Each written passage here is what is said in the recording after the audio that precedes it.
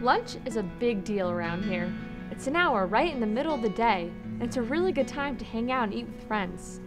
But you have to get lunch somewhere, and if you wait in line to buy, you're gonna be stuck there for half the period, because it moves slow and everybody cuts. This is why microwaves are great. They let you bring in something, and it really helps you feel at home. The microwaves let us do whatever we want with lunch.